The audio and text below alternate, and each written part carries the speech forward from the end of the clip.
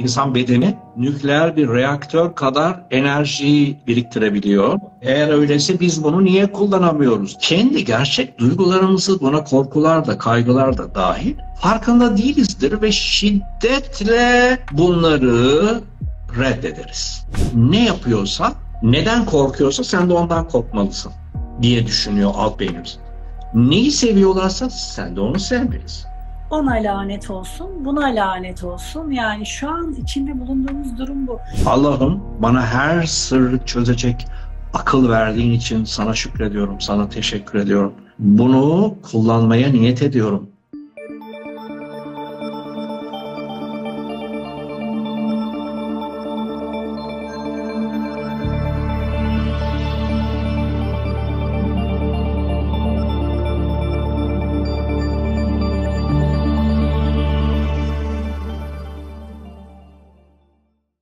Selam. Şenol Hocam geldiyseniz ıslık çalın diyorum ama sizin ıslığı falan duymadım ben. geldim geldim.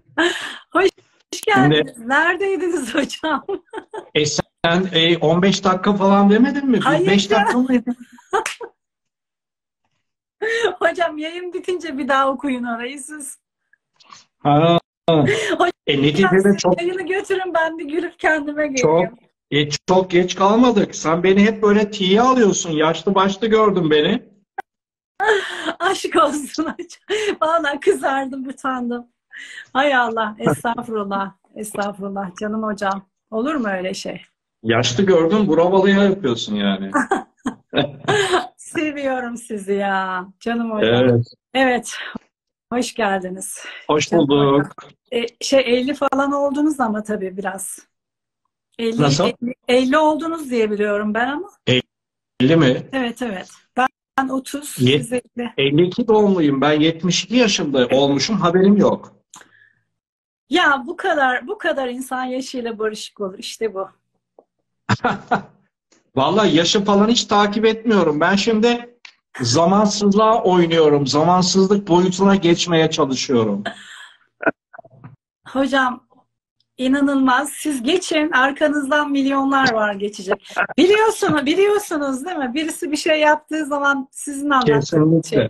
Bir kişi yaparsa zaten, herkes arkasından koşar diyorsunuz, anlatıyorsunuz. Zaten amacım o. Merak etmeyin. Amacım o. Hadi bakalım. Yani e, birisi bir şey yaparsa en azından hiçbir şey olmazsa bile morfik alana diyelim hiç girmedi. O bir örnek oluyor ya. Ben de yaparım falan oluyorsun.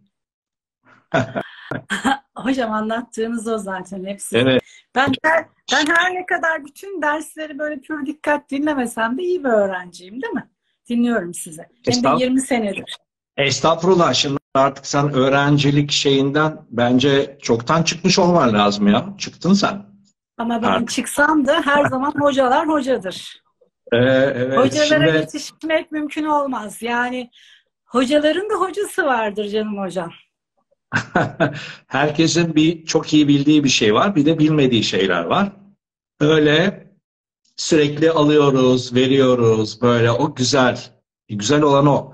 Çünkü yaratanın bilgisi o kadar sonsuz ki bir de sürekli yeniliyor kendini. Evet. Kendisi sürekli yenilediği için.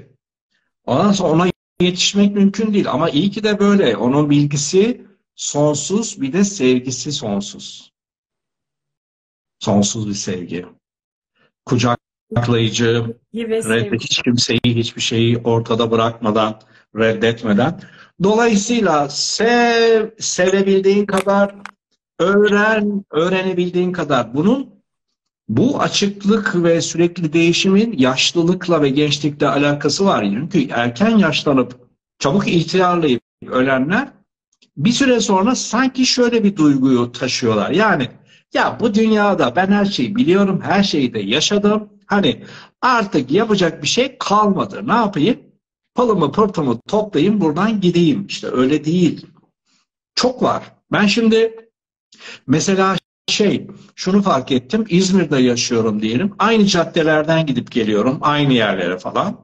Ya dedim ki bu böyle olmaz. Hiç gitmediğim yerlere gideyim. Ee, dün evvelsi günü yok dündü galiba atladık Arzu'yla şeye gittik. Tire. mesela çok e, merak ediyordum. Tire nasıl bir yer? Aa, çok ilginç bir yer.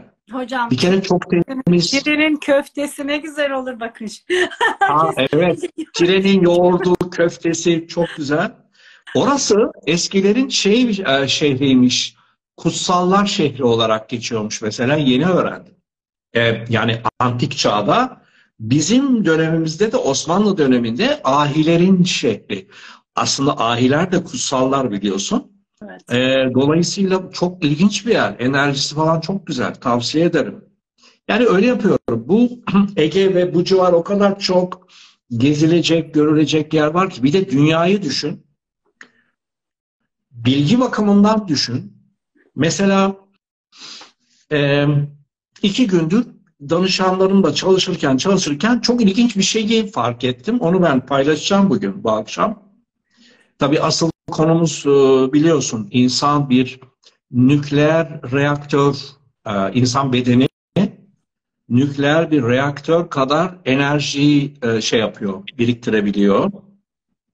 Eğer öyleyse biz bunu niye kullanamıyoruz değil mi? Neden peki bu kadar insanların hastalıkları, bağışıklıkları var? Neden bazıları kolunu bile kaldırmak istemiyor falan? Ay çok halsizim falan filan diyor.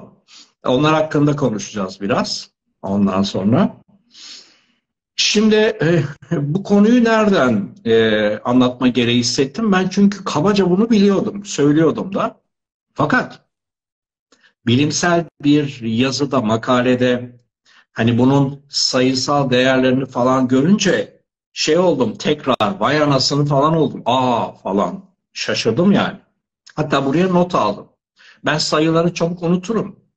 Şimdi aa, şimdi bu yaşlılık falan tire mire olaylarını kapattık mı?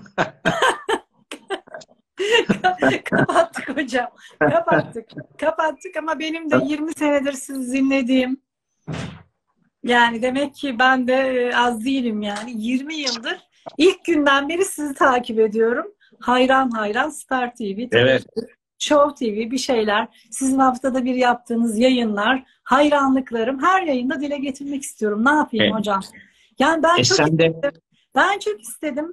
Sizinle tanışayım. Sizinle bir yerde bir eğitimde yüz yüze gelir miyim acaba? Acaba yüzünü görür müyüm? Ya Aa, şöyle bir şey yapalım. Bir de e, biz biliyorsun e, sizin grupla bir online eğitim yaptık. Bir günlük kısa. Ben şimdi bir iki günlük yüz yüze eğitim e, düşünüyorum. Belli konulardan, küçük böyle konularla ilgili. Onun hakkında konuşuruz inşallah. Ben de yüz yüze gelmek istiyorum. Hatta eğitimlere katılırsam süper olur. Orada oradaki derinlik, farklılık falan çok ilgi çekici olacak. Şimdi e, o zaman konumuza geçelim. Evet hocam. E, hep şöyle düşünürdüm. Biliyorsun e, hidrojen bombası e, basit bir hidrojen atomunun parçalanmasından ortaya çıkan bir enerji. Nükleer enerji dediğimiz Hiroşima'yı, Nagasaki'yi yerle bir eden enerji. Maddenin yani en küçük biriminin en küçük noktasıyla alakalı bir enerjinin açığa çıkarması. Yani o atomun içindeki enerji nasıl bir enerjiyse bu. E peki insanın bedeni bak kaç tane atom taşıyor ki e, insanın bedeni nasıl ne kadar güçlüdür acaba falan diye düşünüyordum. Şimdi bakın ben e, yıllar önce bir televizyon programına katılmıştım. Orada böyle bizi ikiye ayırmışlar. Böyle hani metafizikçiler bir de fizikçiler gibi işte karşımızda profesörler var falan filan. Benim yanımda da bir rüya uzmanı var. Rüya mı? Yok astroloji uzmanı. Metin'di. ismi soyadını hatırlamadım. Biz böyle gayet işte güçlü, uzun saçlı güçlü böyle. metin mi? Güçlü Efendim? metin mi? Değil Güçlü değil değil. Güçlü, Ha. me- güçlü metin daha dünün çocuğu. Yani bu benim söylediğim çok eski. Ha ha. Ee, şu, bu aralar ortada görmüyorum onu. Mesela yaşlanmış olabilir. Metin aklıma gelir sonra. Sonra böyle biliyorsunuz televizyon programlarda böyle kafa tokuşturur gibi iki karşıt gücü birbirine tokuştururlar. Oradan bir kıvılcım çıkar diye düşünürler. Aslında birbirimize bizi kırdırırlar yani. Böyle bir şey var. O, o programlar artık olmuyor pek. Bitti onun dönemi. Ben de böyle karşımda koca profesörler var. Kuantum fizikçileri falan. Adamın biri ki siz dedi kuantumla ilgili kitap okudunuz mu falan yaptı bana. Allah Allah dedim okudum tabii ki yani ama ne söyleyeceğimi bilemedim. Ondan sonra beni e, o programı yapan kişi e, savunmuştu. Hani öyle dese, demesek de şöyle mi desek falan filan. Ben de orada düşüncenin gücü hakkında konuşmaya başlamıştım. Canım dedi yani ne dedi düşüncenin gücü ne kadardır falan dedi. E, o öyle bir sayı söyledi falan. Einstein Tabii, hiç duymamış demek ki. Ha, ha. Sonra da ben de düşüncenin maddeye etkisinden bahsetmiştim. Bakın şimdi çok basit bir şey söyleyeyim.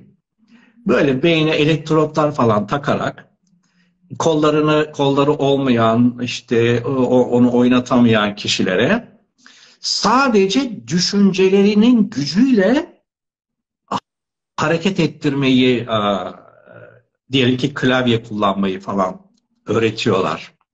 Geçelim onu. Şimdi bakın bir hücre bir hücrede 0,7 miliwattlık bir enerji varmış. Ne kadar küçük değil mi? Yani 0,7 miliwatt bir de. 1 watt bile değil.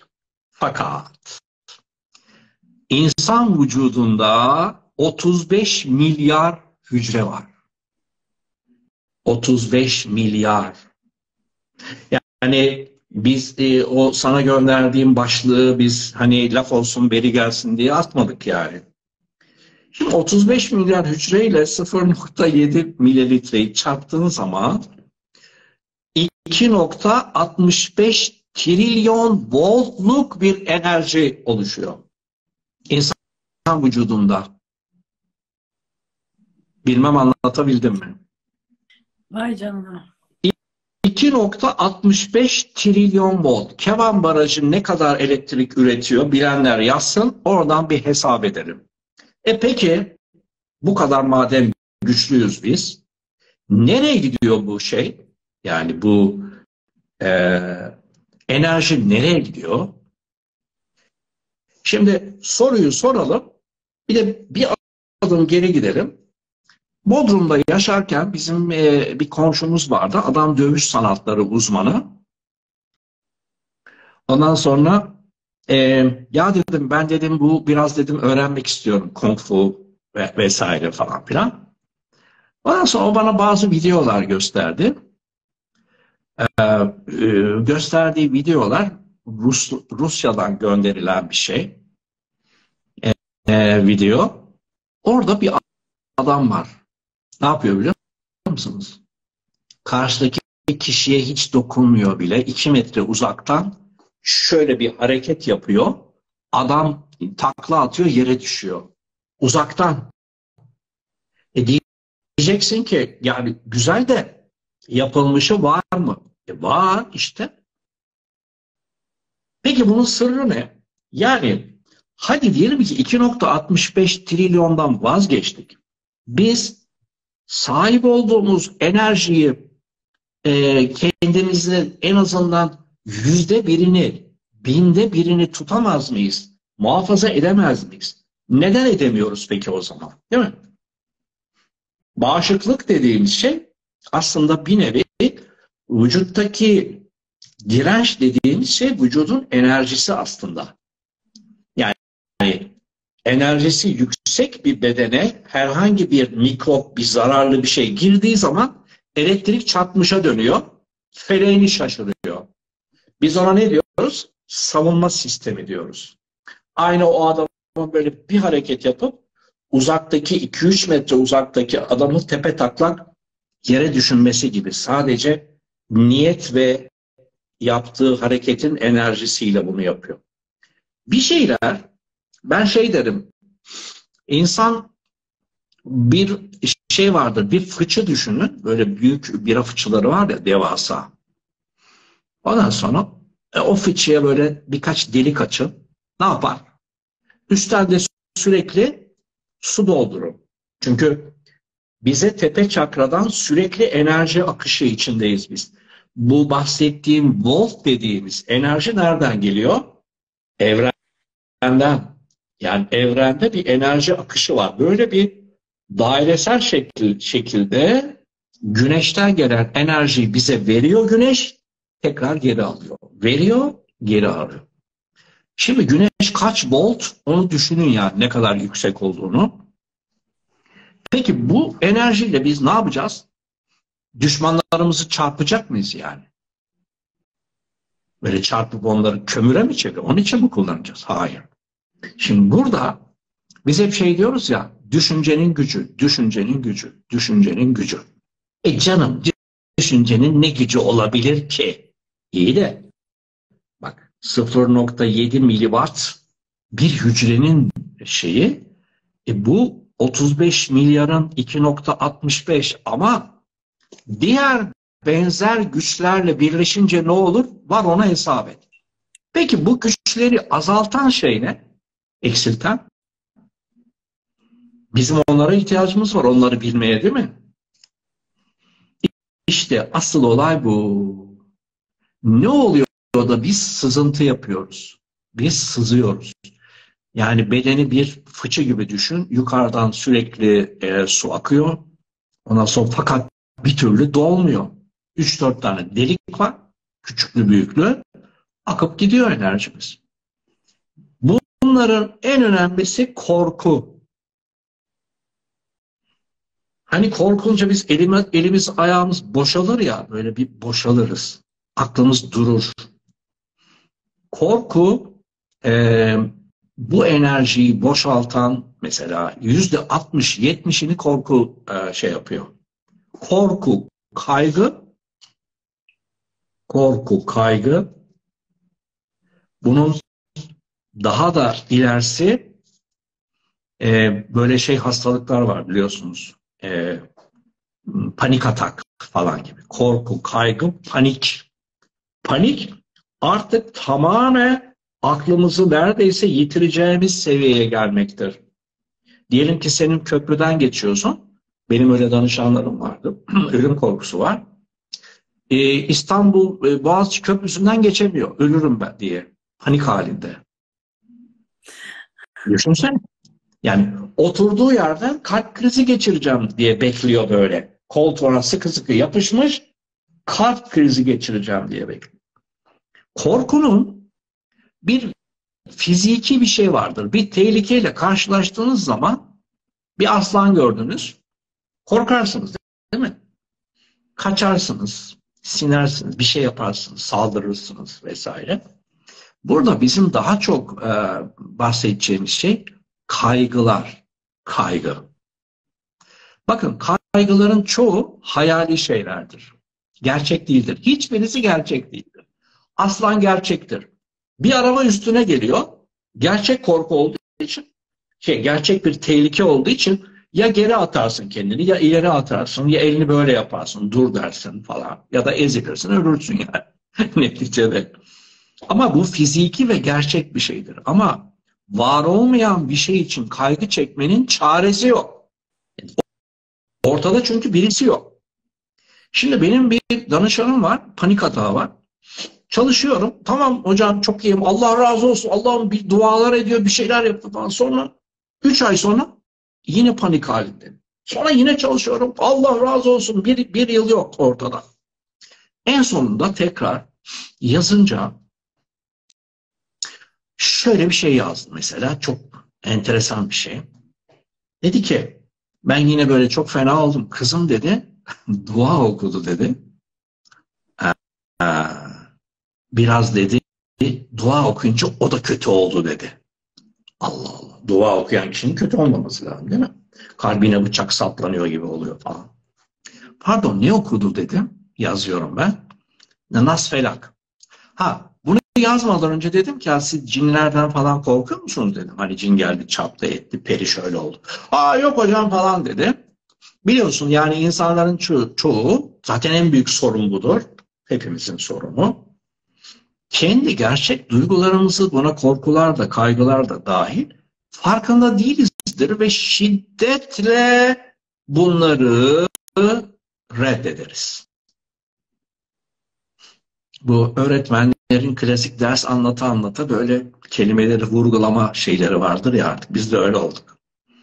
Şiddetle bunları reddederiz. Reddederler. Peki dedim Nas Felak ne için okunur? E, şeytanlar, cinler vesaire için değil mi? Kur'an'da geçiyor. Ondan sonra büyüler için. Evet hocam dedi sonunda itiraf etti. Benim çocukluğum dedi sürekli evde büyüye karşı, cinlere karşı, şunlara bunlara karşı dedem okurdu, babaanne herkes okurdu. Şimdi sen de çocuksun. Etrafına bakıyorsun. Allah Allah. Ortada bir şey yok. Bunlar habire bir şeyden korkuyorlar. Koca koca insanlar yani. Benim sığınmak istediğim kişiler bir şeyin karşısında elleri ayakları titriyor. Ne yaparsın? Senin de ödün patlar. Ve o duayı okumana rağmen daha okurken e, kalbine bıçak saplanır gibi olursun. Ölecek gibi olursun. Hayali bir korku. Çünkü insan neden korkuyorsa, neyle ilgili kaygı yaratıyorsa bu sefer işte burası çok önemli. Buradaki 2.65 trilyon voltluk enerjiyi kendine çeviriyor. Kendine döndürüyor. Ve Bu durumda evet onu panik atak yapıp da elini ayağını bağlayan ondan sonra korkulan yataktan çıkamayacak hale getiren kalbinin böyle küt küt küt atmasına sebep olan şey? Kendi korkusuna yüklemiş olduğu elektrik.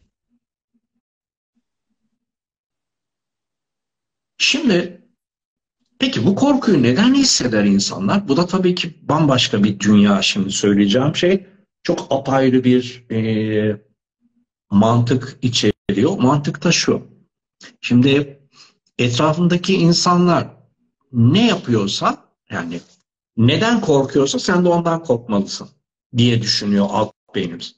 Neyi seviyorlarsa sen de onu sevmelisin. Hayata karşı moodları neyse mood. İki türlü mood vardır. Bu şeyde moodlar var ya klimada mesela işte sıcak soğuk, efendim hızlı yavaş orta böyle moodlar var. O modu ayarlıyorsun. Motor hep çalışıyor ama modu değişiyor. Şimdi bizim motor ne? Zihin. Neyle çalışıyor? Elektrikle. Gücü ne? 2.65 trilyon volt. Ama senin moodun şükür değil şikayet modu. Çünkü öyle gördün. Ne yapman lazım? onlarla uyum içine girmen lazım. Eğer onlarla uyum içinde olmazsan, onlar gibi olmazsan kalırsın ortada öyle apaçık. Korumasız bir şekilde kalırsın. Bakın korumasız deyince aklıma şey geldi. Bu 23 Nisan'ı Atatürk'ün neden bayram olarak koyduğunu ilk defa birisinden duyuyorum. İlk defa. Yok efendim e, Cumhuriyeti çocuklara emanet etti falan. Ezbere ezbere şeyler. Nedenmiş biliyor musunuz? Aynen böyle. Araştırsın arkadaşlar, bulsunlar. Bulabilirler yani. Efendim diyor ki çocuklar şeydirler, e, zafiyetleri vardır. Yani şunu demek istiyor. Onların kendini koruyacak güçleri, doğruyu yanlıştan ayırt edecek e, akılları yoktur henüz, gelişmemiştir. Eğer anne baba, aile bu durumu kullanıp da çocuğu ezmesin, onu manipüle etmesin, onu sömürmesin diye bu çocuk bayramını koymuş. Neden koymuş? Etrafında böyle insanlar gördüğü için özellikle de kendi çocukluğundan ilham alarak. Bize her şey böyle romantik bir şekilde ele alınır. Atatürk küçükken kargaları kovalıyordu.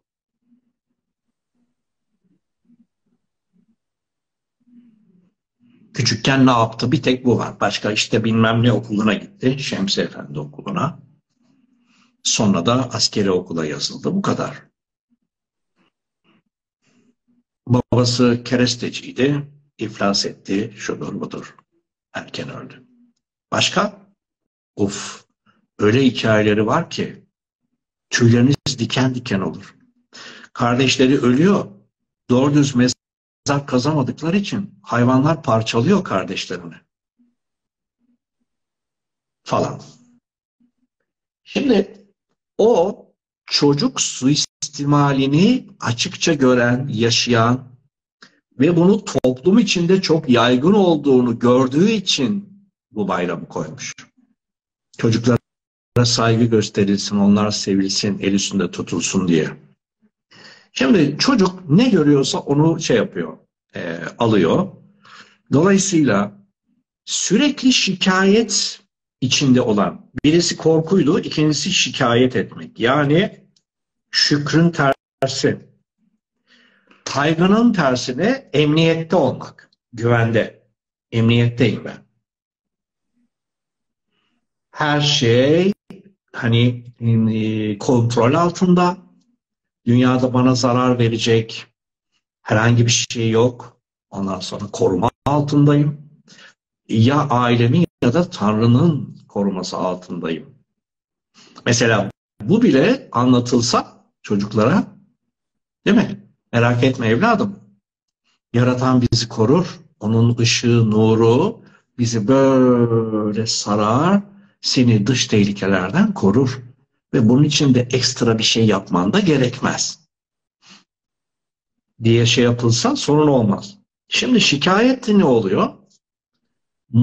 Mood'unu insanlar etrafındaki insanlara ayarlıyor. Çoğu da hayattan hep şikayetçi olduğu için diyor Masar Fuat?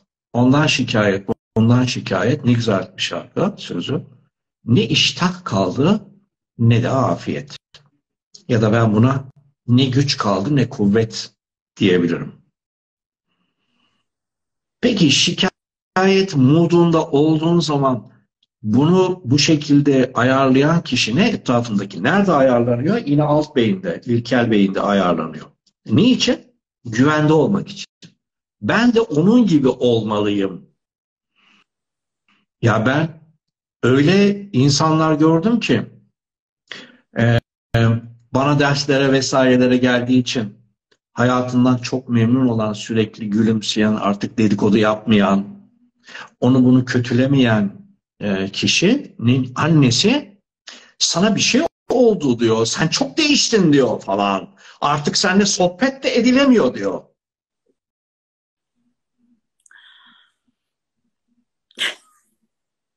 O da bana diyor ki hocam diyor onun sohbeti diyor kendi kızlarını bana kötülüyor diyor. Dedikodusunu yapıyor kendi kızının. Neden? O da çünkü kendi annesinden görmüş. Mood ayarı şükür değil, şikayet. Ne oldu? Şikayet olunca sızdırırsın. Enerjinin çoğu gider. Akar gider. Hatta sıfırın altına bile gider. Çoğu insanların enerjisi sıfırın altındadır. Onun için şuradan küçücük bir rüzgar etsin hasta olur. Bir yerden bir virüs geçsin böyle şöyle geçerken virüs frene basar der ki aha burada bir boş yer var der. Tık. e gelir. Güçlü insana hiçbir şey olmaz. Elektriği güçlü insana.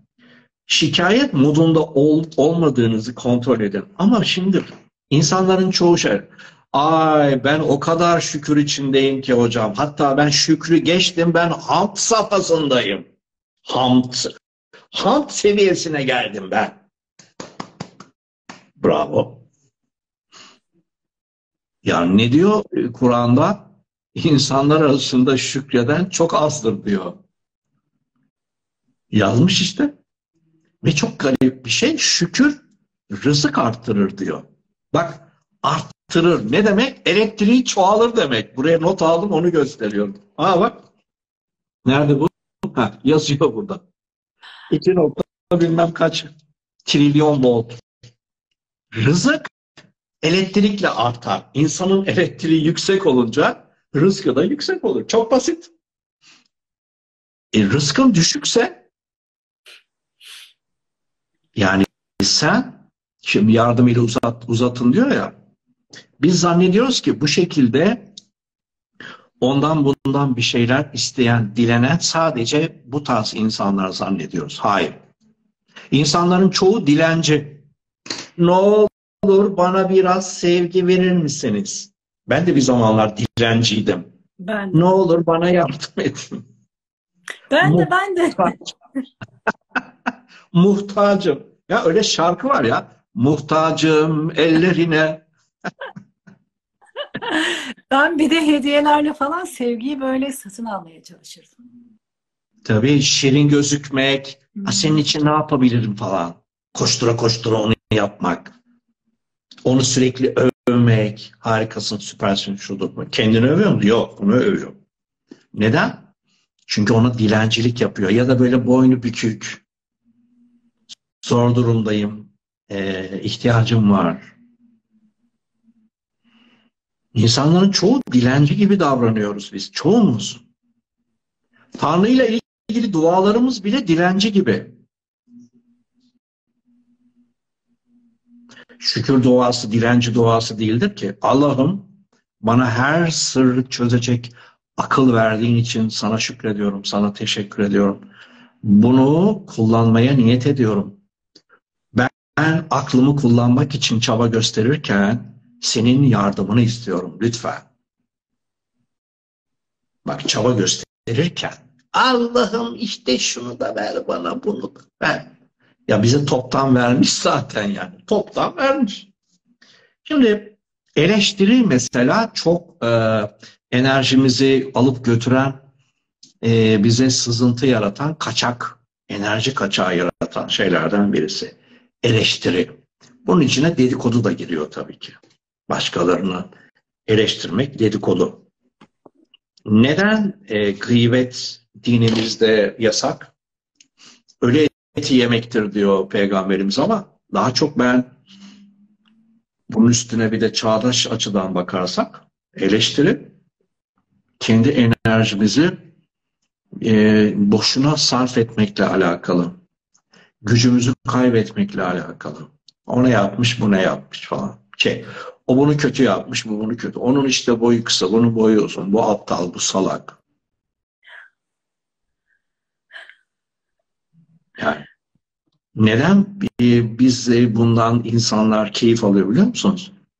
Çünkü o düşük elektriğe alıştığı için mesela düşük elektrikli bakın ben size bir şey söyleyeyim. Bilirsin bu lafı e, çok e, tekrar ediyor şimdi kişisel gelişimciler. Tabii Avrupa'dan birisi söylemiştir. Oradan hemen alırlar. O söylediğine göre bunu kullanırsak çok havalı oluruz gibi bir şey var. İşte senin e, ne seviyede olduğunu etrafındaki beş kişi belirliyor diyorlar ya. Aslında ailedeki beş kişidir. Aslında o bir kişidir. Ya annedir ya babadır. Ya da onun yerine koyduğun birisi. Şimdi bak bu ayarı biz neye göre yaparız biliyor musun? Diyelim ki tam frekans, tam enerji şu kadar. Ama sen şu kadarını kullanıyorsun bak minicik. Bu kimin ayarıdır biliyor musun? İşte o beş kişinin ayarıdır. Çünkü biraz enerjini yükselt, o telefonda kızına çemkiren kadın gibi hizaya getirirler seni. Ne o? Parayı gördün şımardın değil mi? Bizi hiç aramıyorsun. Burnun büyüdü tabii ki. Diyormuş ki annesi ona. Sen diyormuş Almanya'da yaşıyor bunlar. İstanbul'a gidiyorsun. Orada ne yapıyorsan böyle sürekli iyisin sen yani. Sen çok iyisin. Sen hayatını yaşıyorsun. Orada bir şey mi kullanıyorsun sen? Hani bir şey mi içiyorsun? Ot falan mı içiyorsun? Demeye başlamış. Bundan acayip şikayetçi.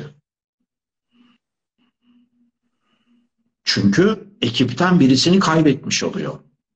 Aldan birisi kaçtı. Şimdi bir tane şey var, YouTube videosu. Ben bayıldım ona. Sürekli seyrettim 3-5 kere. Üç tane inek var böyle. Anne inek. Otluyorlar gayet sakin hanım hanım. Küçük böyle bir bahçe. Duvar var. Bir tane buza Allah'ım deli gibi koşturdu. iki tur attı bahçede. Gerildi. Koşa koşa duvardan atladı buzağı. Ve kayboldu. O anne Anne ineklerin arkasından bir bakışları var ki. Nereye gitti bu bizim yavrumuz yani? O duvarlar nasıl geçti? Herhalde boyut atladı. Yani duvarın arkası on, onlar için boyut. İdris peygamber geçti ya başka bir boyuta. O da onun gibi yani. Bu, bu ineklerin İdris peygamberi. Atlayıverdi. Ona çünkü kimse evladım bak biz ineyiz. Şu duvardan atlayamayız demediği için henüz öyle bir eğitime tabi tutulmamış. Atlayıverdi orada. Hemen seni indirirler. Öyle bir skeç var. Ee, bir bir grup arkadaş e, tam bir tanesi çok böyle hoş güzel bir kızla tanışıyor. Arkadaşları bir türlü inanmıyorlar buna. Ve o, o ilişkiyi bozmak için ellerinden gerek, gereğini yapıyorlar geleni. Sonunda kız robot çıkıyor falan espri olsun diye yapmışlar. Hocam sonunu romantik bekliyordum. Ben de öyle bekliyordum da kız robot çıkıyor. Ama öyledir. Yani Cem Yılmaz'ın bir şeyi var. Sen diyor mesela bir zayıflamaya karar ver. Git arkadaşlarına söyle. Abi ben bundan sonra kilo vermek için işte atıyorum e, şey yapacağım. Diyet. Aa sen yapamazsın. Olmaz öyle. Sen mi yapıyorsun? Hadi bırak Allah'ını seversen. Ve diyor seni vazgeçirmek için her şeyi yaparlar diyor. Sen öyle kal var ya. Erol Evgen'in şarkısı. Hep böyle kal. Sen böyle güzelsin. Yani böyle kal. sana yakışıyor. Cana yakın. Benim yanımda ol. Bana yakın ol. Ağıldan kaçma. Dolayısıyla bu çok önemli bir şey. Bir diğeri e, o bu da çok o, insanların konuşmalarında hemen belli olur. Çelişkili davranmak, çelişkili düşünmek. Mesela e, e tabii ki zengin olmak istiyorum ama slash değil mi? Parada kolay kazanılmıyor ki. Ya da Amadan öncesini bu, unut zaten. E, bugün de bugünler yani dünyada şeysiz e, kim zengin olabilir ki falan. Yani istiyordum. Çelişki. Yalnızım hayatımda kimse yok. Slash ama güvenilecek kimse yok bence. Doğru dürüst adam mı var dünyada? E hani çelişki. Bu çelişki o kadar çok enerji kaybettiren bir şeydir ki sürtünme gücünde, gücü gibidir bu. Sürtünme yaratır. Bir taraftan bir yere gitmek istiyorsun, öbür taraftan da bunun tam tersi. Bak şu hareket olur sürekli. Ve hep amalı konuşur onlar. Amadan önceki cümlenin mantığıyla amadan sonraki mantık tamamen birbirinin zıttıdır. Ve sanki iki ayrı kişilik oluşmuştur. İki kişilik insanın içinde sürekli kavga eder. İnsan kendi kendisiyle kavga eder. Dolayısıyla bu enerjiyi tüketen şeylerden birisi de budur. İçimizde sürekli kavga vardır yani. Ve bu kavganın tabii ki kaçınılmaz olarak dışarıda yansır. Biz dışarıdan birileriyle kavga ederiz. Zannederiz ki o olmasaydı ben kavga edecek kimsem olmazdı benim. Onun yüzünden böyle oluyor. Hayır, sen içinde kendi kendine kavga ettiğin için tezahür ettiriyorsun o kişiyi. Hayatımızda neyi tezahür ettiriyorsak içimizdeki sahneyi dışarıda oluşturuyoruz aslında. Mesela bu çok, çok müthiş bir cümledir. Ama çok, çok insan böyle yapar. Dinler. Hmm, ben bunu biliyorum. Biliyorum. Ben bunu duydum. Mukaddes Hanım'ın şu şu şu şu programlarında şu şu kişiler bu cümleyi tekrar etmişti. Hatta bakın ben nota aldım. Biliyorum. E, e uygula ya da uygulayıp uygulamadığını fark yani çek check et. Ya ben bu bunu uyguluyor muyum? ve samimi bir şekilde de ki ben bunu uygulamıyorum. Dolayısıyla bu çelişki hem öyle hem böyle çelişkisi de müthiş bir enerji sarfiyatına. İnsanlar aslında bu sebeple ölür giderler. Bunlardan dolayı daha bitmedi. Devamı var. Bir reklam falan var mı arada? Can Hocam. Vallahi çok çok süper. Evet. Şimdi bir sonraki... Gülmekten böyle buralarım şey oldu hocam. Gülmekten ee, buraları kırıştı. Botoks etkisi yapıyor değil mi? Botoks. Gülünce e, hani derler ya bir kahkaha, bir pirzola ya bedeldir falan. Çok doğruymuş o. Gülünce insan çok şey yaparmış. Hani ciğerler, oksijen, kahkaha, rahatlık, mutluluk falan. Ee, şey, neşe çok önemli bir şey. Hormonlar. İşte şikayet neşeyi öldürüyor şikayet. Şimdi suçluluk duygusu bir diğer başlık. Bu da çok önemli. Bakın çocuklar işte Atatürk biliyor da biliyor da yapıyor bunu. Şimdi kendilerini duygusal olarak, fikirsel olarak koruyamayacak durumda oldukları için korkuturlar, eleştirirler, bir de suçluluk aşılanır onlara. Senin yüzünden kullanılır. Senin yüzünden. İşte ben senin yüzünden doğururken şöyle şöyle oldu. E sana hamileyken böyle böyle oldu. Ben sizi büyütmek için şunları şunları yaptım. Bak hasta oldum sen beni çok üzdün. Bunlar böyle sürekli oradan buradan göğüsten, omuzdan o okları yer e, çocuklar. Sonra tam kendini mutlu edecek herhangi bir şey yapmaya niyetlendiği an o oklardan birinin sızıntı, sızısını hatırlar. Eyvah der ya ben ne yapıyorum? Böyle bir şey hakkım var mı benim bak. Ben anneme bak, ben babama ya da ben ben kardeşime neler yaptım? Hayır. Ne yapmalıyım? Bunun bedelini ödemeliyim kendime. Kendime bunu ödetmeliyim. Bakın kocaman bir batı toplumunu İsa sizin günahlarınız yüzünden kendini kurban etti yalanıyla şey Saul kendisi bir e, Yahudi aslında din adamı üstelik e, bu yalanla bütün insanlığı esir etmiştir, ele geçirmiştir, tutsak etmiştir. Herkes korkudan tir titrer. Arkadan kilise bastırmıştır. O günah, bu günah diye. Sonra günahlarını gidip de e, kilisede itiraf edince e, papaz da ya da rahip de bağışlandın evladım deyince para verilsin. Kilise köşeyi dönmüştür. Yani Senin de günahın. Önce suçlu hisset, Sonra onun sırtından para kazan. E tamam da bunu sadece kilise mi yaptı?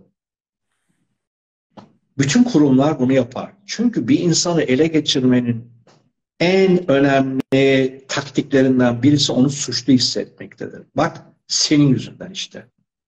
Bazı filmlerde şeytanla karşı karşıya gelir kahraman. Tam şeytanı öldürecektir. Şeytan ona şöyle söyler ya da işte o kötü karakter neyse. Bak arkadaşım senin yüzünden öldü. Annen senin yüzünden öldü. Şeytanın Sen bu savaşa girmeseydin efendim. Şeytanın Avukatı filmi vardır. Herkes evet. izlesin onu. Değil mi? Müthiş bir film. Suçlu hissettirirler. Senin yüzünden. Mesela düşünsene Atatürk Türkiye Türkiye'de İstiklal Savaşı'nı başlatmasaydı, İstiklal Savaşı'nda binlerce insan öldü değil mi? Birisi dese ki bak senin yüzünden bu kadar insan öldü dese, çoğu insan geri adım atar. Ama akıllı adam der ki iyi de diyelim ki düşman hiç savaşmadın, ele geçirdi. Zaten bir kere bir katliam yapacak. Öldürecekti herkesi. Abi onu zaten yapmış. Yunanlılar yapmış biliyorsun. Hem de nasıl işkenceler falan. Diyelim ki yapmamış olsun. E kardeşim sen özgür değilsin. Başka ne olabilir ki? Özgür değilsin sen. Sen ülkende köle olacaksın. Ne onun için ne diyor Atatürk? Ya ölüm ya istiklal. Ya istiklal. Ya bu nasıl bir cümle ya? Ya ölüm ya istiklal. İkisi arasında bir şey yok. Yani şey yok. Abi anlaşalım ya. Yapalım bir şeyler. Ben sana şunu vereyim sen falan. Ha ha der. Önce, Ben size savaşmayı değil, ölmeyi emrediyorum diyor. ya mesela mesela Deli olacak insan. şimdi öyle bir kahraman yatağa yattığı zaman ulan ben ne iğrenç bir adamım ya. Böyle bir şeyi nasıl söylüyorum ben? O kadar kişinin ölümüne sebep oldum mu diyor. Yoksa diyor ki arkasından zaten sebebini açıklıyor. Diyor ki biz burada savaşırken biz diyor ama yerimize yeni kuvvetler gelir. Ama burayı bırakırsak ülke elden gider diyor. Mantığını kurmuş adam. Şimdi öyle bir moda var biliyor musun? Adam geldi, adam yaptı, adam kazandı. öyle bir kullanılıyor işte adam yaptı falan diye. Dolayısıyla mantığını kurmuş. Suçluluk duygusu insanın elini kolunu bağlayan bir şey. Dolayısıyla enerjiyi bağlar. Peki bu enerji serbest kalırsa ne olur? Bakın şimdi bir serbest ışık var biliyorsunuz. Bir de lazer ışığı var. Normal serbest dağınık ışığı buradan ben tutsam karşıda dağlar tepeler var. Buradan şuraya kadar gider sonra kaybolur boşlukta. Fakat lazer ışığını tuttuğum zaman kaç kilometre uzağa kadar gidebiliyor. Gökte uçan uçaklara kadar ulaştırılabiliyor lazer. Neden? Lazer demek konsantre olmuş ışık demeti demek. Konsantre olmuş. Şimdi bozulmamış ve konsantre olmuş, dağılmamış ve güçlü bir düşünce anında realiteyi oluşturuyor.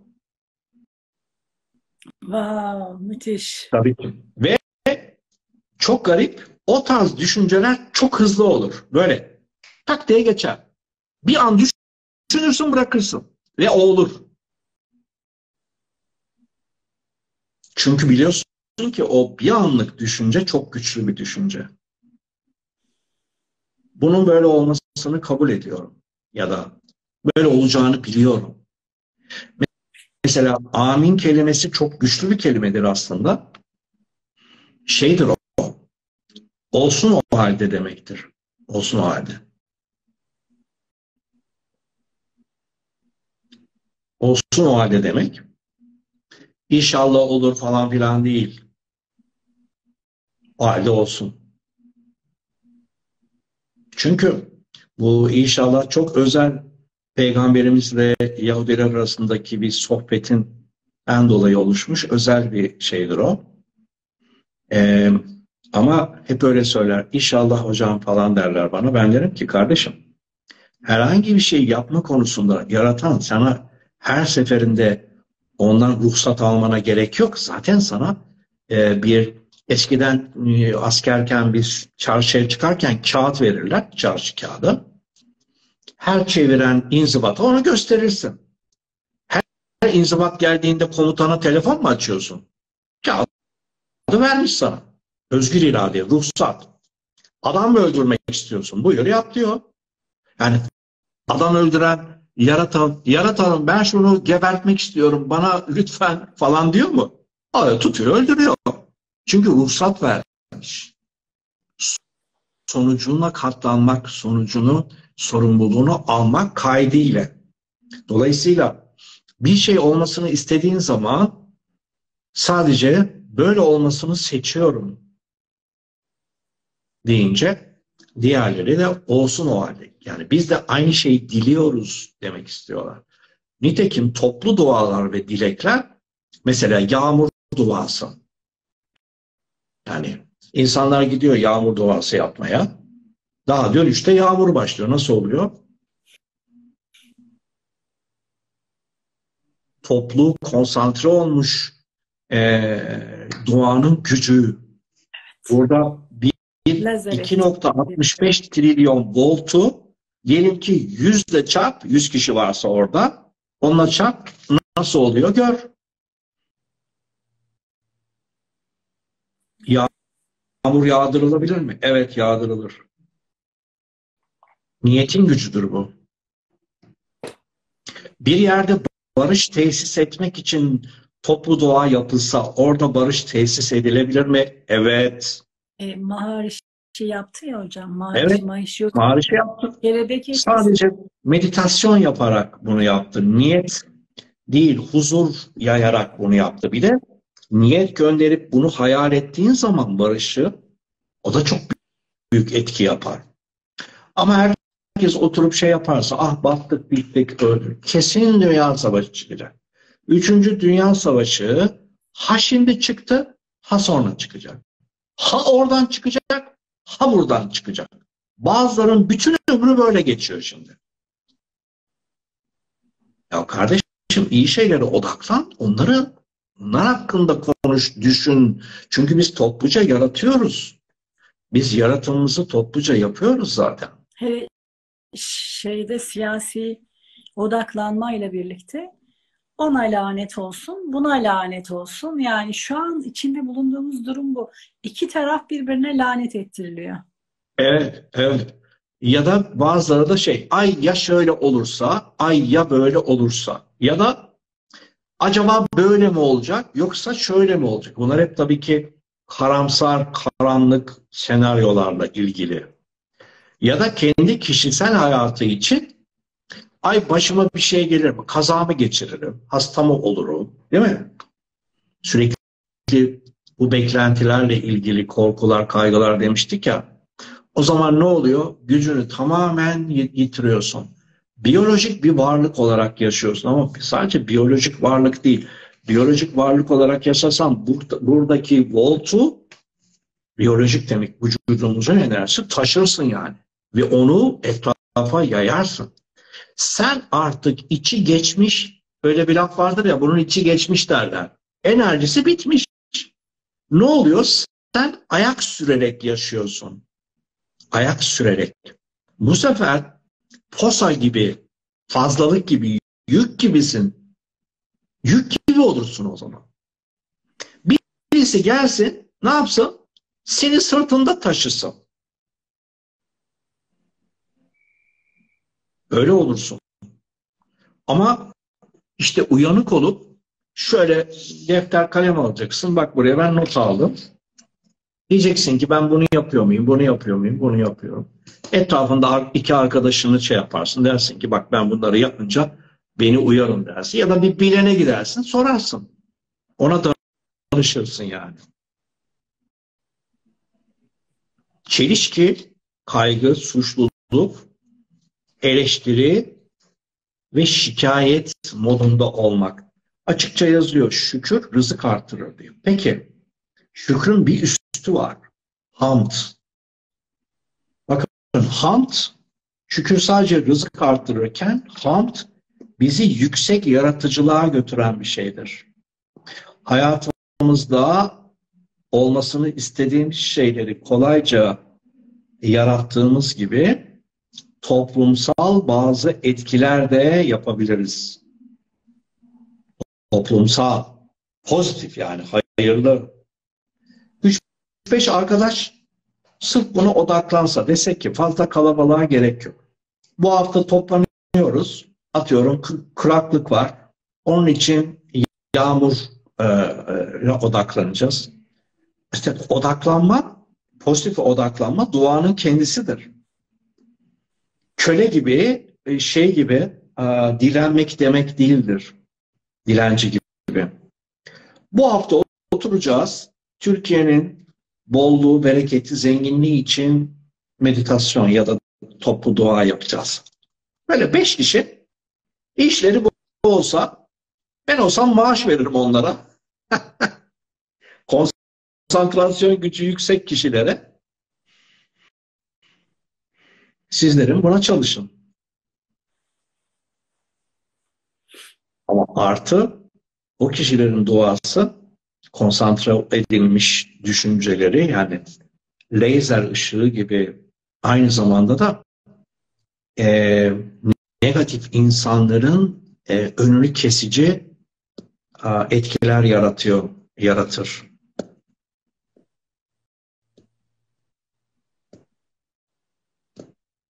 Ben mesela bazen bir yeni binaya taşınmıştık.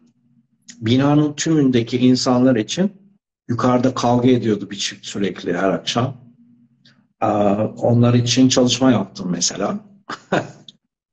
Oradan taşındılar. Ya orada kalıp değişecekler ya da kendi sorunlarını, kavgalarını devam etmek istiyorlarsa o bölgeden çıkacaklar. Nasıl yaptınız Aa, hocam? Efendim? Nasıl yaptınız? Şimdi soracaklar canlar. Onların e, yani işte konsantre edilmiş düşünce, odaklı düşünce. Ama bu niyetle yapıyorum. İlla da çıkıp gitsinler değil. Ben o enerjiyi gönderiyorum. Sadece ne gönderiyorum? Sevgi. Yüksek, en yüksek sevginin bu adı 2.65 trilyon voltluk enerjinin adı sevgidir. Sevgi. Bir diğeri de nefret duygusu arkadaşlar. Nefret. Eğer nefret duygunuz nefret varsa o kadar yüksek hocam. Efendim? Nefretin frekansı o kadar yüksek mi? Değil. Hayır hayır. Şimdi o yüksek olan sevgiydi. Hı hı. Karşıtı nefret. Şimdi insanlar farkına varmadan o kadar nefret duygusu içindeler ki diyor ki ya diyor hocam diyor benim diyor oğlum kızımda diyor nasıl bana karşı nefret duygusu var anlatamam size diyor. E senden dolayı diyorum. Senden oraya gidiyor oradan sana diyor. Aa olur mu ben falan filan. Bir bakıyoruz yani teorik olarak doğru olan bir şeyi pratikte de öyle olduğu çıkıyor. Sonra biraz kazıyınca kendisini küçükken haksızlık yaptığına inandığı babasına, Tanrı'ya, bütün erkeklere anormal bir nefreti olduğu çıkıyor ortaya.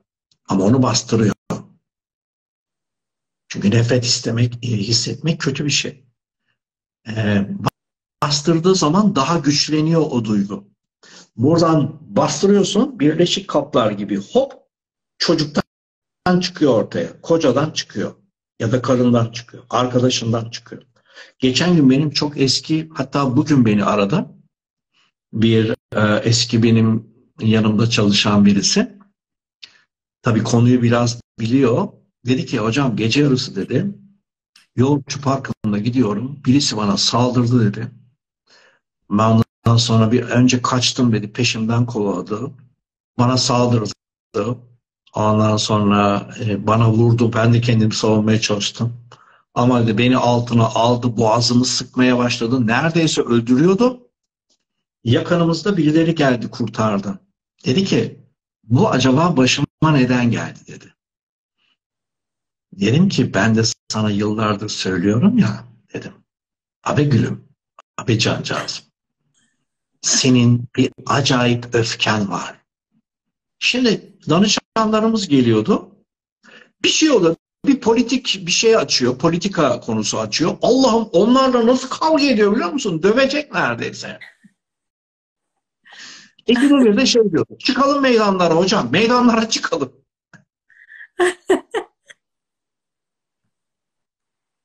Sonra bir partiye üye olmuş. O partinin adını vermeyeyim. Dedim ki bırak onların hepsi ergen dedim ya. Ergen. Onların hepsi babalarına kızgın dedi. Bana bugün diyor ki hocam gerçekten öyleymiş diyor. Ben artık orada duramıyorum diyor. Bak dedim niye biliyor musun dedim. Bak sonra o kişiyi araştırmış.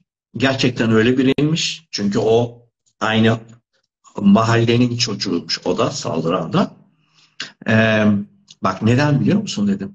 Senin bastırdığın nefretin kaç birimse onun da bastırdığı nefreti o kadar birimdir. Onun için siz birbirinizle buluşup enerji dansı yapıyorsunuz.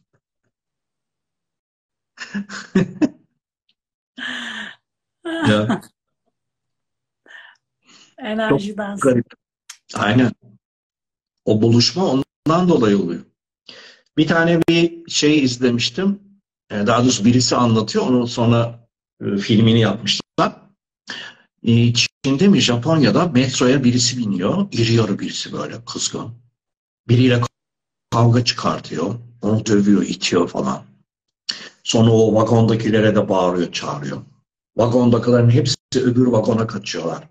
Metroda. Adam o kadar iri ve sinirli biri ki. Ha evet bunu bir yazar anlatıyor. Kişisel gelişim yazarı. Şahit olmuş. Diyor ki derken diyor diğer vagondan bir diyor ufak tefek yaşlı böyle ton ton bir ihtiyar o adama doğru böyle yapmış. Vay dostum demiş ya ne habersin demiş. Ne yapıyorsun demiş. Adam öyle birden şaşırmış. Gitmiş onun yanına. Önce konuşmuşlar. Dedi ki beş dakika konuştular. Beş dakika sonra o kaco adam yaşlı adamın omuzunda hüngür hüngür ağlıyormuş. Çünkü her türlü şiddet imdat çağrısı aslında. Benim sevgiye ihtiyacım var demek istiyor. Ama onlar ondan kaçarak öfkesini daha çoğaltıyorlar. Niye beni sevmiyorsun demek istemenin Arapçası o, Çincesi yani daha doğrusu. Hani Japon Çin'de geçtiği için diyor. Onun işareti o. Evet. Başka bir olay daha. Bakın sevgi diyoruz ya ne muhteşem bir şey. Müthiş. Biz şimdi bir Hocam e, ya, sözünüzü kesiyorum. Hatırlıyor musunuz? Geçen sene bir kardeşimiz beni kafaya takmıştı. Bir iki tane daha e, astrolog kardeşlerimizle falan uğraşıyordu. İşte bir sürü insan böyle şey kedicikler falan diye böyle bo- botokslu hanımlara falan o kadar kafaya takmıştı ki ben öyle olmadığım için bana da başka şeyler yani saldırıyordu falan. Bir gün meditasyon sırasında yani önce bir, bir iki gün üzüldüm. Dedim Allah Allah hiç tanımıyorum adamı duymadım. Nasıl bu kadar düşman olabilir? Hani bendeki ne var ki? Benim içimde bir şey var ki bu adamcağız bendeki bir şeyi ortaya çıkarıyor. Sonra bir meditasyon sırasında tabii niyet ettim meditasyona başlamadan önce bir göreyim. Tak diye geldi bilgi. Sadece merhamete ve şefkate ihtiyacı var ve bilinmek istiyor. Yani duyulmak istiyor. Sonra meditasyondan sonra bir daha hani ona çalıştım sizin dediğiniz gibi. Sevgi gönderdim sadece. Dedim seni anlıyorum ya. Ben seni kıyamam yani. O kadar üzüldüm ki. Ama o bana böyle yazıyor her gün. Yani küfürler, bana şiirler yazmış böyle. Küfür dolu şiirler. Evet, Bana gönderiyorlar. Mukaddes Hanım şunlara bir bak. Mukaddes Hocam bunlara bir bak. Dedim hiçbir şey yapmayın sakın. Sadece sevgiye ihtiyacı var. 3-5 gün geçti. Beni tamamen bıraktı. Başkalarına saldırmaya devam ediyor. Ben yine çalışmaya devam ettim.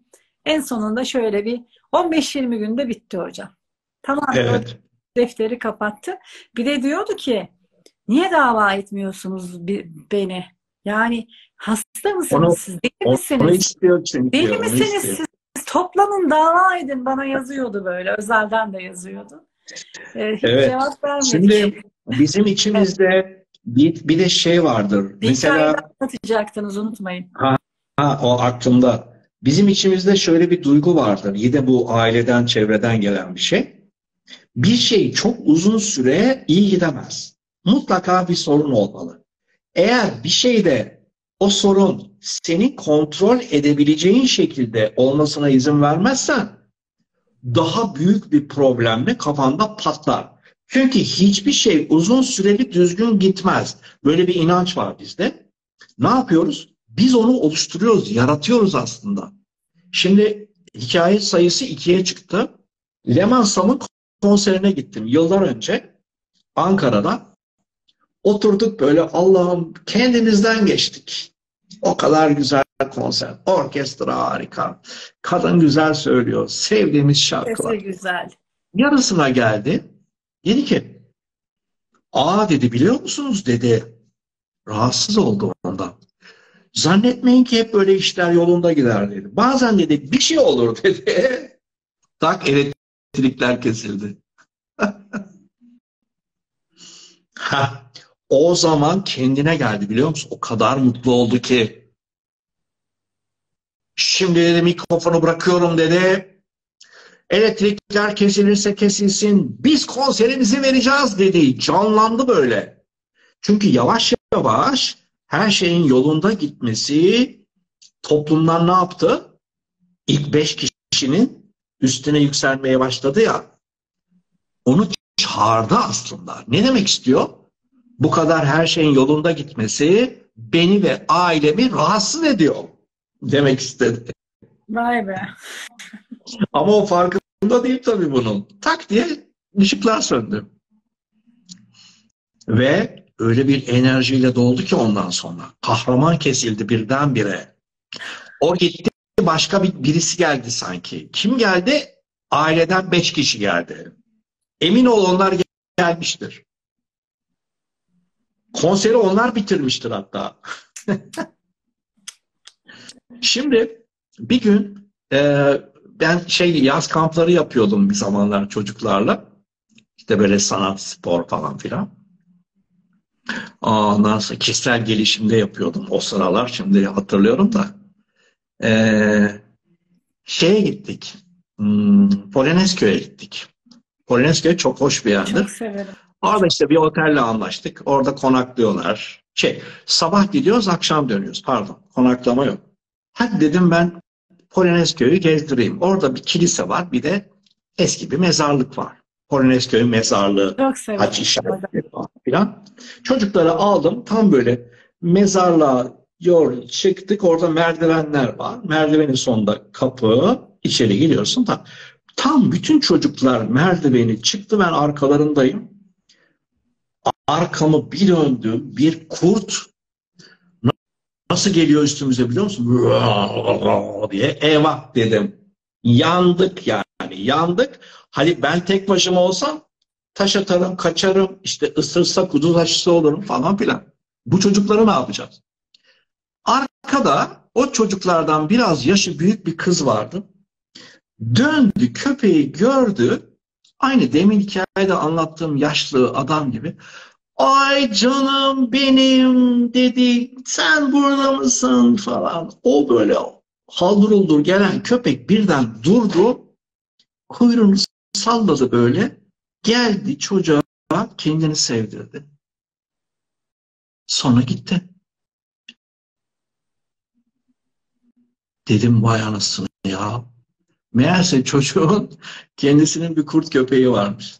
Hayvanları tanıyor. Hmm. Şimdi o yaşlı adam da insanı tanıyor. İnsan onu tanıyor. O adamın sevgiye ihtiyacı olduğu için öyle davrandığını biliyor ama diğerleri bilmiyor. Ondan sadece korkuyorlar o kadar. Yaşlı adamdaki bilgelikle çocuktaki bilgelik aynı. Aynı. Evet, çok güzel bir tespit.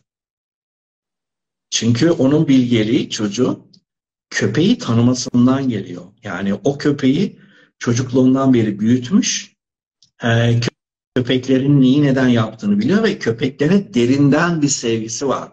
Onu tanıyor. O da insanı tanıyor işte. Bilgelik tanımakla alakalı bir şey. Şimdi ben bazen e, yayınlar yaptığım zaman e, kendi e, şeyimde internetimde aklıma gelmedi şimdi. Neyse canlı yayınlarımda. Yani canlı yayınlarınızda. Canlı yayınlarda. Aa tıpkı beni anlatıyorsunuz hocam.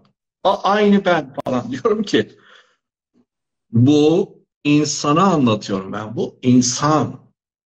E sen de insan olduğuna göre seni anlatmış oluyorum tabii ki. Mesela Tanrı'ya olan kızgınlık, Tanrı'ya kızgın olan insanların sayısı o kadar fazla ki.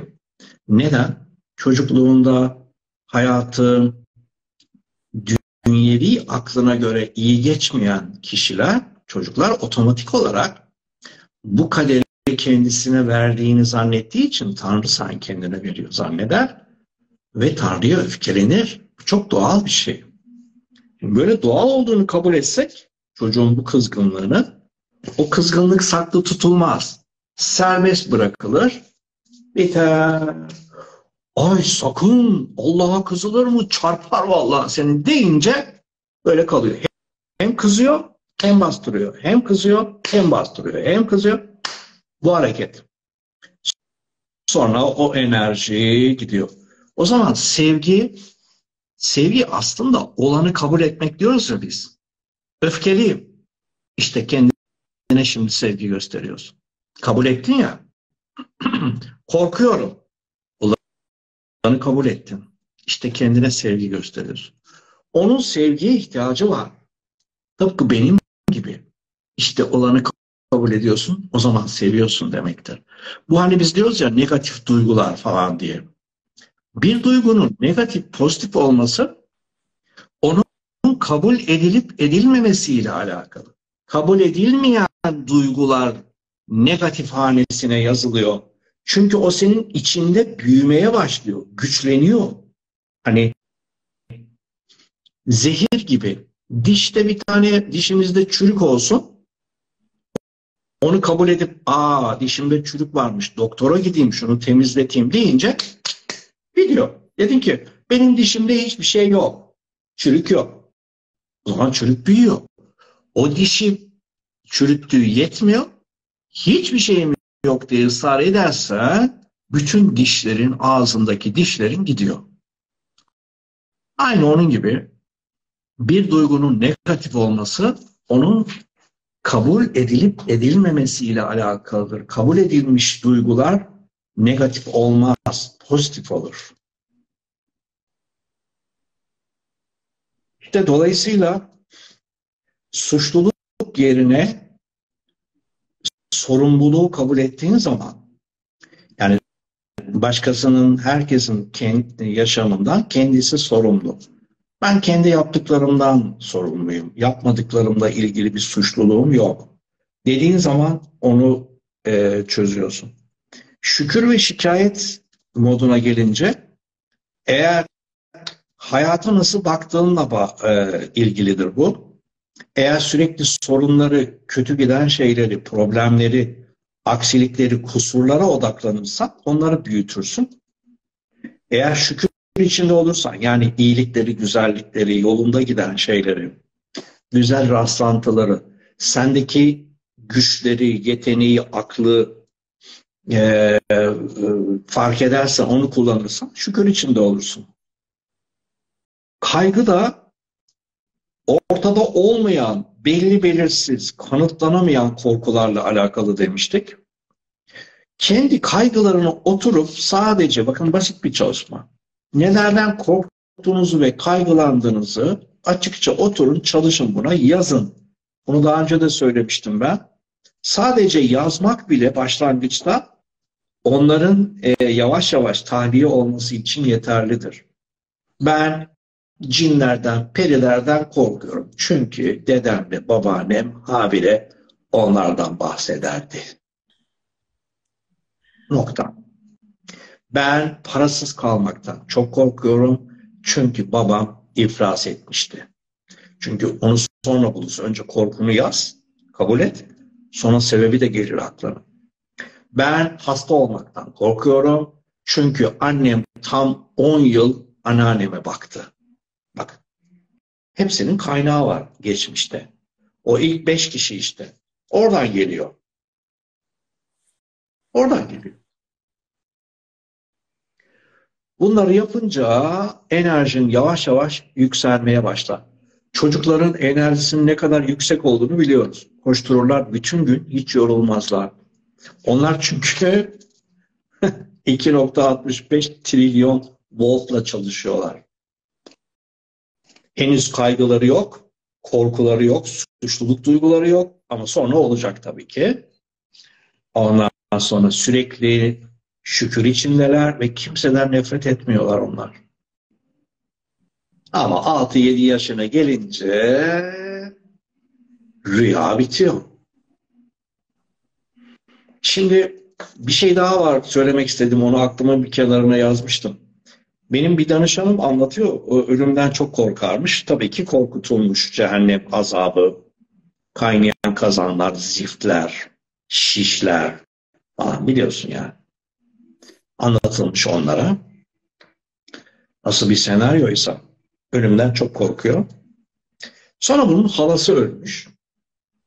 Halası için üzülüyor falan. Neyse onu rüyasında görmüş. Diyor ki halamı bir gördüm diyor. Ve diyor yaşarken çok acı çekti diyor. Hani çok baskı gördü falan filan. Aa halam çok güzel kıyafetler giymiş. Sahilde böyle deniz kenarında yürüyor. Dansa gidiyor, sinemaya gidiyor, tiyatroya gidiyor falan diyor. Onu bir anda böyle gör. Hala demiş orası nasıl bir yer? İyi bir yer mi? Bana söyle. Orada mutlu musun? E, çok iyiyim demiş. Görüyorsun işte ben nasıl güzel yaşıyorum. Sonra hala tatmin olmamış. Bir kere daha Allah'ım ne olur göreyim falan. Yine görmüş halasını. Yine aynı şekilde. Hala demiş ben ölümden çok korkuyorum. Orası nasıl bir yer bana anlatsana. E demiş görüyorsun demiş. Bana bir daha sorma demiş. izin yok çünkü demiş. Asıl demiş burası değil orası demiş. Çok kötü bir yer demiş. Dünya için. Asıl demiş cehennem orası. Neden? Çünkü biz birbirimize burayı cehennem yapıyoruz. Orası cennet. İstediğini yapıyorsun. Aa, hiç insan istediğini yapar mı canım? Aa, olur mu? İnsanı bıraksan neler yapar? Zina yapar, çalar. Hayır öyle bir şey yok. İstediğini yapan insan mutludur. Niye kötü şeyler yapsın? Benim en çok dikkatimi çeken halası ona bilgi veriyor. İkinci kere de diyor ki izin yok. Sana anlatmamı istemiyorlar. Bir daha beni görmek isteme diyor. Ama sana bir şey söyleyeyim. Asıl diyor orası çok zor diyor. Orası çok güzel diyor. Ama nasıl anlatıyorlar? Ne hikaye? Şimdi biz askerlikle ilgili bize şey yapar, yaparlardı. İşte askerlikte şöyle var, böyle dayak var. Şimdi gece kaldırıyorlar seni çıplak ayakta karda yürütüyorlar. 15 saat nöbet. Allah neler neler işkenceler falan. Gözünde öyle bir askerlik şeyi oluşturuyor ki bir gidiyorsun ya onun yüzde biri bile yok. Yüzde biri bile yok. Böyle bir abartarak insanları korkutma psikolojisi var. Şimdi bizim bulunduğumuz site Böyle tepede bir yer. Aşağı denize doğru inerken bir mahalleden geçiyorsun. Orası böyle biraz hani varoş mahallesi diyelim. Şimdi buraya ilk taşındık. Biz tabii kuşuz böyle sağa sola bakıyoruz. Taksiye binmiştim ben. İki, iki taksiye bindik. Abi buradan sakın gece geçmeyin abi. Tamam mı? Arabayla geçiyorsan sakın arabadan inme. Adamı keserler kimsenin ruhu duyma. Biz böyle olduk yani. Ulan ne oluyor dedik. Hiç de öyle şey değilmiş. Abartıyorlar taksiciler. Neden? Çünkü seni korkutarak sendeki enerjiyi çalıyor. Sen böyle paralize oluyorsun ya böyle böyle kalıyorsun ya diyor ki nasıl da korkuttum. Sonra öğrendik öyle bir şey yok. Anlattıkları kadar değil yani. Öbür dünyada öyle. Abi öbür dünyada var ya Hani ben gittim gördüm. Öyle böyle değil. Böyle kazanlar kaynıyor, şişler, sırat köprüsü var. Altta böyle e, ateş yanıyor, uçurum. Oradan geçiyorsun. Eğer kurban kestiysen koyunun üstünde rahat geçersin. Kesmediysen öyle bir dengen bozulsun aşağı iniyorsun. Yapma ya falan. Öyle anlatıyorlar. Ya da liseye gidersin. Lise sondaki kişiler gelir sana der ki aa vallahi bu, bu okul var ya kendine dikkat et ayağını denk al falan. Seni korkutarak şey yaparlar enerjini çalarlar. Şimdi bu enerji sadece bu bahsettiğim şeylerle çalınmaz. Başka insanlar senin enerjini çalmak için soyut hikayeler uydururlar. İşte bu aralar çok olan şeyler. 4 Mayıs'ta yani ya bir tane astrolog şey demişti ya arkadaşlar sokağa çıkmayın dedi ya. Sokağa çıkmayın dedi. Hiçbir şey olmadı. Bu depremden falan önce ama. Yani bir sürü tarih veriliyor. Hep 15 günde bir bir felaket bekleniyor. Şimdi Büyük İstanbul bak Büyük İstanbul depremi büyük ama. Adamcağızın biri çıktı ya o deprem çok büyük olduğunu zannetmiyorum dedi. Adama böyle yaptılar.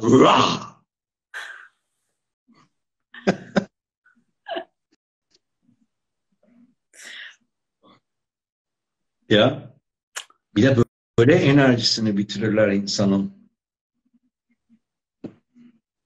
Göz hapsinde tutarak enerjisini bitirirler bazen. Göz hapsinde.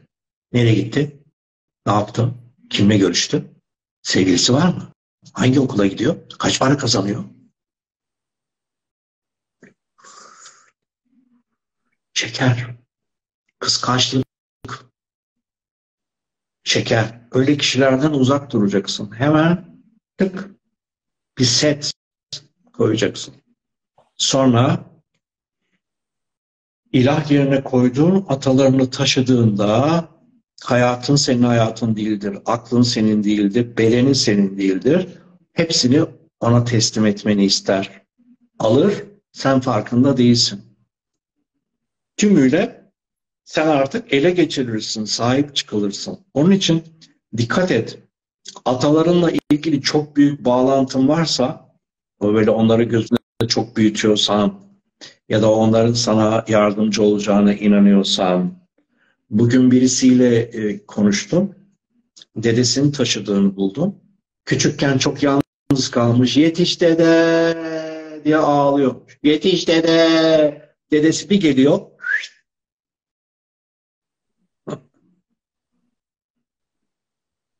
Hocam kağıdı, kağıdı ne yapacağız diye soruyorlar. Ben cevap vereyim. Ne kağıdı? Kağıdı, kağıdı tarhana çorbasının içine tuz gibi, baharat gibi atacaksınız. Ondan sonra içeceksiniz. Ne kağıdı? Hocam yazdırdınız ya korkularını. Ha o kağıdı. Ne yapsınlar hocam? Ah ah ah. Bakın ben desem ki o kağıdın dörde bölün birini kuzeye, birini güneye, birini doğuya, birini batıya desem onu yaparlar biliyor musun? Çünkü böyle ritüeller aklı kullanmayı gerektirecek şeyler değildir. Ben diyorum ki otur, düşün, yaz. Yazınca ne oldu? Açığa çıktı. Farkındalık. Çok tatlılar Evet. ya. Yerim. En önemli şey farkındalık. Ya farkında olmak çok önemli. Bakın ritüel yapmaktan farkındalık seviyesine geçtiğiniz zaman e, Süper Lig'e geçersiniz. Birinci ligden Süper Lig'e geçersiniz.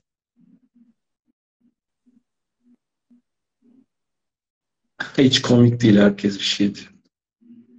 Canlar Evet. kızdılar. Komik değil. Tabii ki.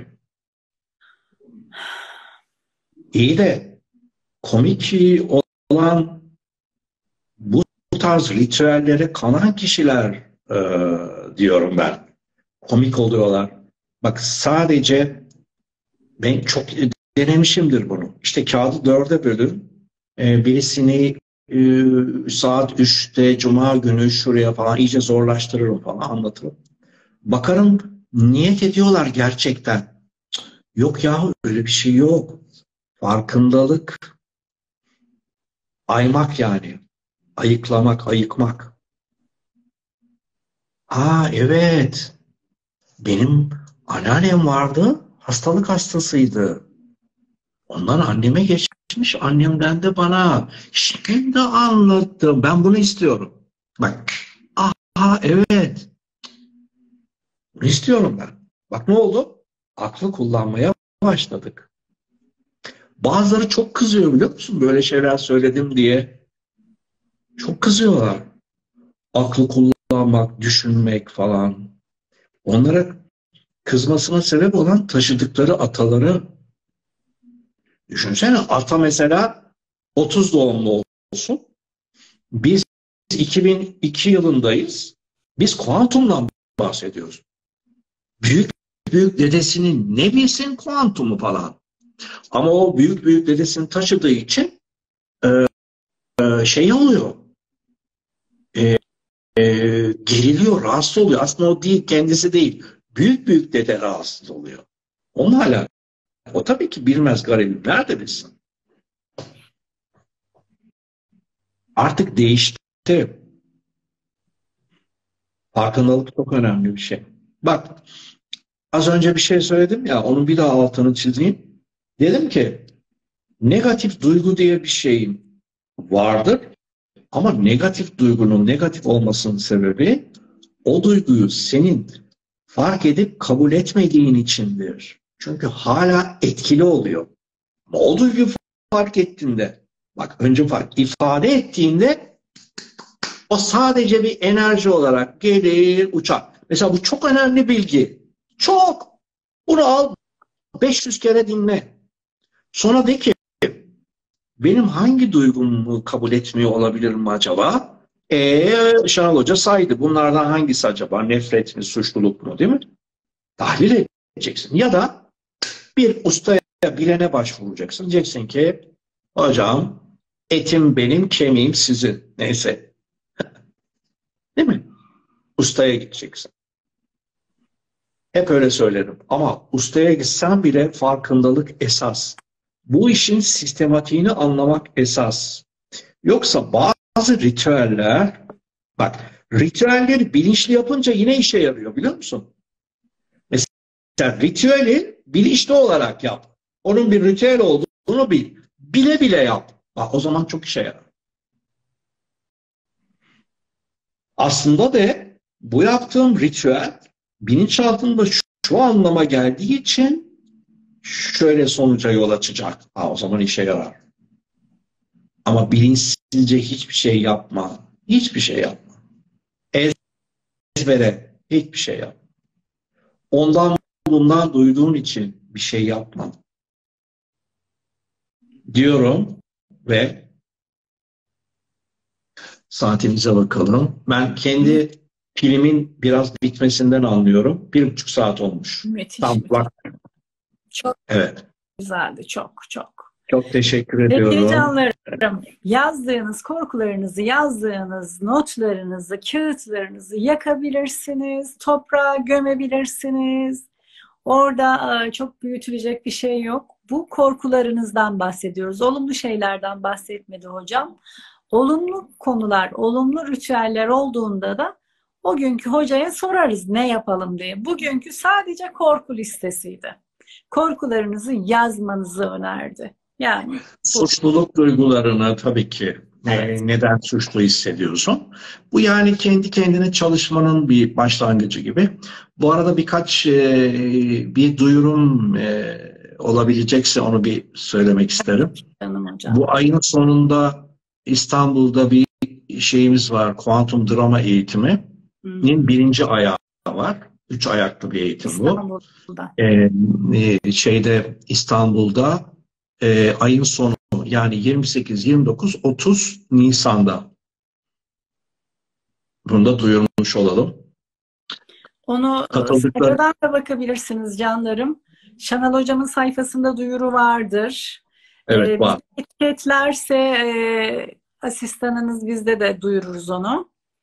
Tabii ki. Etiketlersin, beni etiketlesin de ben hemen paylaşıvereyim onu. Aa, onun dışında şimdi yayını kaydediyorum. Hatta Şanal hocama da davet gönderiyorum. O da onay verirse onun sayfasında da yayın çıkacak. Canlı yayınımız. Oradan da izlersiniz. Bizden de Tabii izlersiniz. ki. Hocam, hocam onu kabul ederse onun sayfasında da çıkacak. Artık Hepinize çok öğrendim. Biliyorum. Evet. Evet onayladınız değil mi katkıda bulunma davetini? Aynı Evet. şekilde canım hocam. Aynı şekilde bunu ben tabii ben becerebilirsem aynı daveti çocuklar m, hallediyorlar da ben bazen yapamıyorum. Şimdi deneyeceğim hemen. Ondan sonra kabul ettiğinizde düşecek. Yayın kalıyor canlarım. yayın kalıyor. Ama yarın saat 20'de her günün yayını, ertesi günü 20'de YouTube kanalında oluyor. Şanan Hocam da YouTube kanalına koyuyor. Oradan da izleyebilirsiniz. Her yerden izleyin, gönderin, dostlarınıza gönderin. Katkı olun tabii ki. Tabii ki katkınızı bekliyoruz. Evet, Evet. canım. Ben katılanlara çok teşekkür Cemil. ediyorum bizi Çok dinledikleri güzel. için. Sana teşekkür ediyorum. Ee, bu bu e, çalışmalarının tümü için sana teşekkür ediyorum. Gerçekten çok önemli bir misyon. Bunu her seferinde söylüyorum ama söylemek lazım diye düşünüyorum. Ee, Canım hocam. Allah kuvvet versin. Size de iyi ki varsınız, iyi ki. Yani sıfır noktadan buraya kadar gelmemde katkısı olan e, canım hocam, hocalarımdan bir tanesiniz gerçekten. Hani bilmeden yaptığınız, sonra da şimdi gerçekten eğitimlerinize de geldim yani. Yaptık birlikte, yapmaya devam edeceğiz. E, iyi ki varsınız, iyi ki minnettarım. Çok iyi ki varsınız. can hocam. Görüşmek Görüşmek üzere. üzere canlarım. Yarın saat 22'de. İyi akşamlar Görüşmek olsun. üzere.